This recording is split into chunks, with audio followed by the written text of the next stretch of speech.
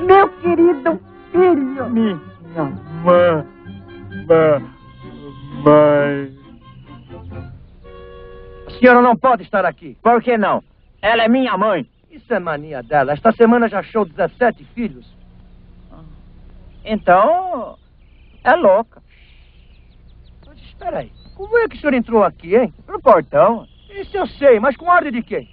O moço lá falou que minha mãe estava aqui, então ele foi buscar ela. Isso aqui é um sanatório. Saia imediatamente. Eu saio, mas vou pegar o Policarpo.